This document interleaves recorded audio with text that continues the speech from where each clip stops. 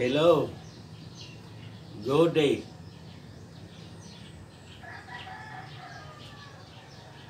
We have here our new update as of March 27, 2021. Our report will start from the components of COVID-19 for this day, March 27. And the second part is about the total number of recorded cases nationwide. And the third part is the finding of the report. We have here on March 27, 2021 at 4 p.m. the additional cases of COVID-19 recorded by the Department of Health, Republic of the Philippines were 9,595. There were also recorded 481 recovered and 10 died.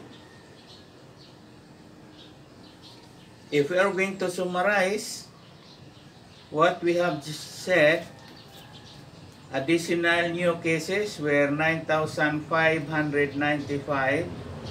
Additional recovered cases were 481 additional death were 10. Comparing it with yesterday, March 26. New cases for March 26 is 9,838.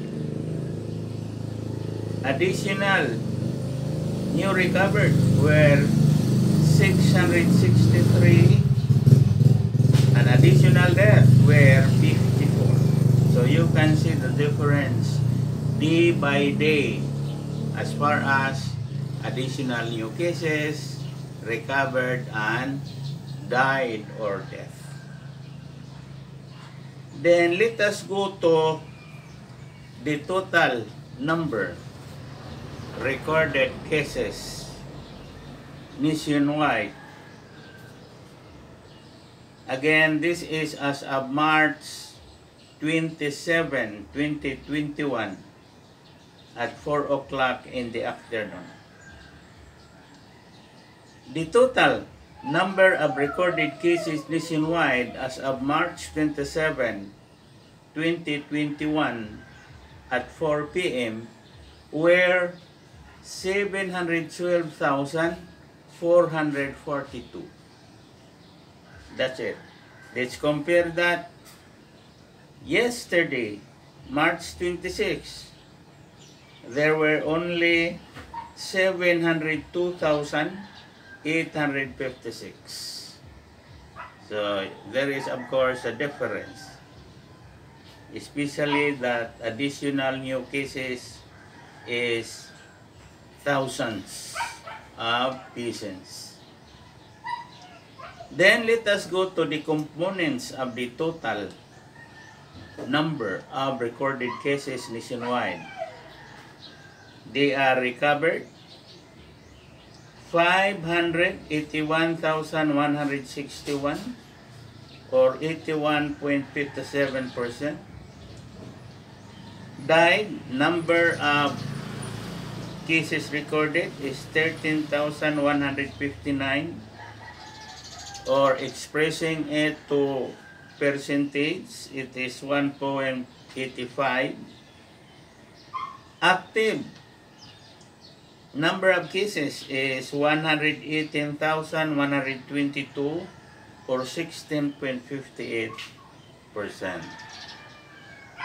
Comparing it with yesterday, recovered yesterday is 82.68%, died yesterday is 1.87 active were 15.58 59, um, 51%. I repeat, 15.51%. Let us go to the findings of the report today. The finding is that there were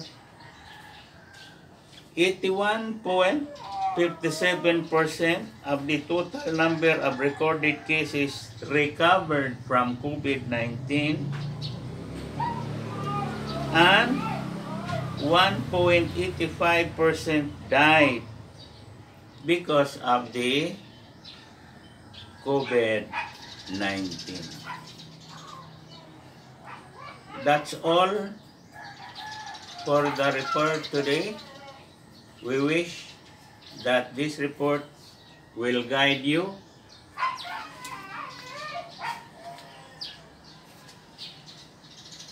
in everyday activities and hoping your comments, suggestions, and then of course I would like to invite you to subscribe to our new channel. Click the bell, like, and share this video to others. Thank you for watching.